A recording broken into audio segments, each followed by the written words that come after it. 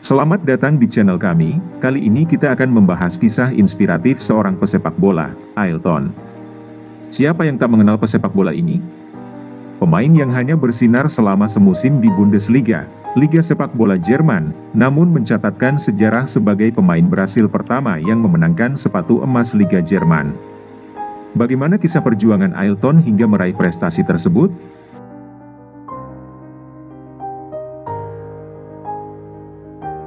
Pada masa lalu, Liga Sepak Bola Jerman, Bundesliga, memiliki seorang striker yang bernama Ailton Goncalves da Silva.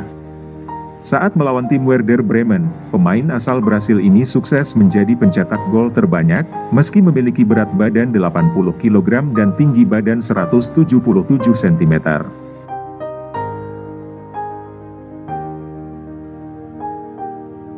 Dalam dunia sepak bola profesional, kelebihan berat badan sering kali dianggap sebagai masalah.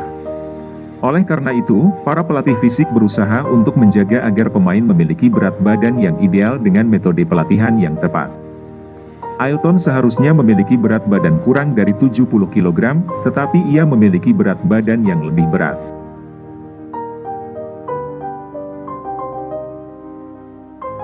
Namun, kehebatan Ailton dalam permainan sepak bola tak terbantahkan.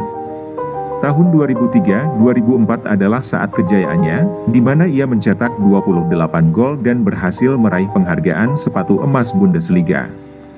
Ia berhasil mengalahkan Roy Makai dari Bayern Munchen dan Martin Max dari Hansa Rostock yang menjadi pemain yang mengoleksi gol terbanyak di peringkat kedua dan ketiga dengan torehan 23 dan 20 gol.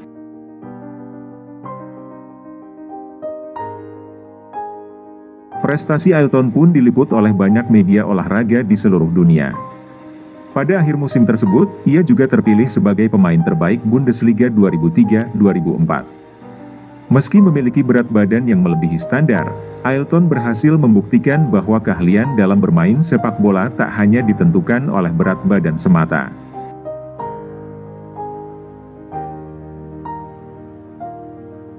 Selain meraih penghargaan sepatu emas dan bola, Ailton juga sukses membantu Werder Bremen meraih kemenangan di puncak Liga Sepak Bola Jerman pada masa lalu.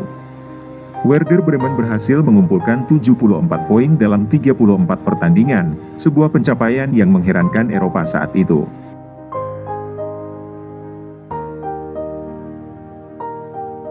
Werder Bremen berhasil mengalahkan Bayern Munich sejak pekan pertama Liga dan berhasil mengunci posisi juara dengan konsistensi yang luar biasa. Sementara itu, Bayern Munich harus puas berada di posisi kedua dengan total poin 68, sedangkan Bayer Leverkusen harus berada di posisi ketiga dengan total poin 65.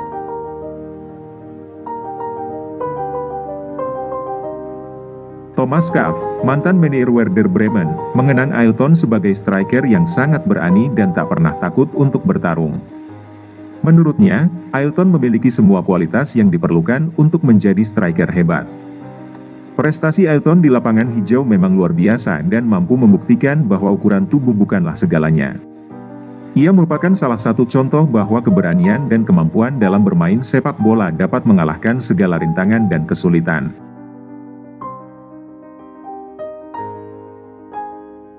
Ailton Goncalves da Silva berhasil mencapai kesuksesan di Jerman, namun dia tidak pernah menarik perhatian para pelatih timnas Brasil, termasuk Carlos Alberto Parreira.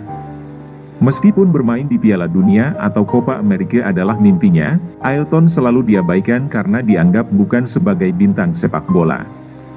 Hal ini sangat mengecewakan bagi Alton, terutama ketika ia tidak dipilih untuk ikut dalam skuad Copa America 2004.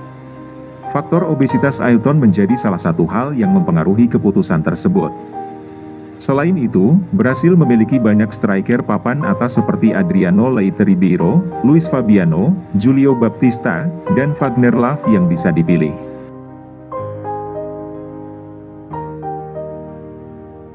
Ailton merasa kecewa dan bahkan mengancam untuk mengubah kewarganegaraannya.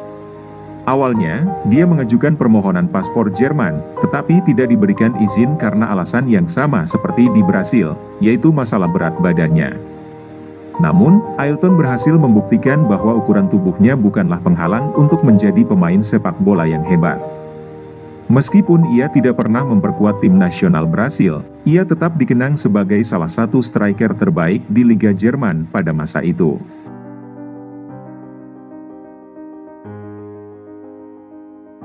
Setelah sukses di Jerman, Ailton ingin membela timnas Brasil, namun tidak pernah dilirik oleh para pelatih termasuk Carlos Alberto Parreira. Ia merasa kecewa karena tidak pernah bermain di Piala Dunia atau Copa America dengan tim Samba, meskipun harapannya hanya untuk sekadar memakai jersey Brasil. Ailton merasa diabaikan karena tidak dianggap sebagai bintang, padahal ia merupakan striker yang berani dan memiliki semua kualitas untuk menjadi hebat.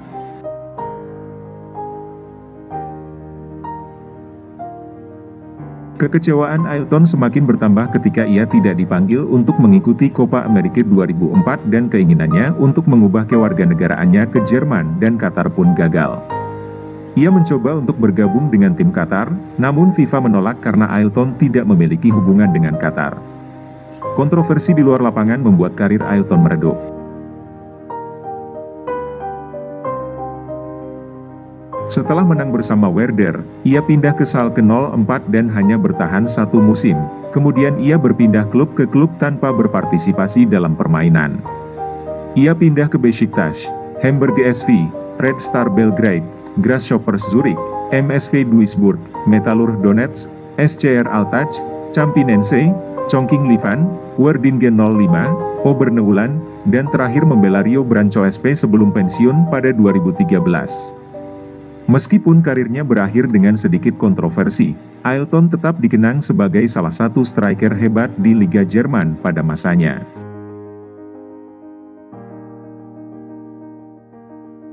Demikianlah kisah Ailton, penyerang Tambun yang berhasil meraih sukses gemilang di Bundesliga selama satu musim.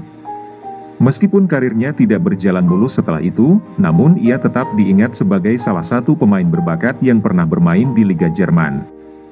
Semoga kisah inspiratif Ailton ini dapat memberikan semangat bagi kita untuk tetap berjuang dan menggapai impian, meski terkadang harus melewati berbagai rintangan dan tantangan dalam hidup. Terima kasih sudah menonton dan jangan lupa untuk subscribe channel kami untuk mendapatkan konten menarik lainnya. Sampai jumpa di video kami selanjutnya.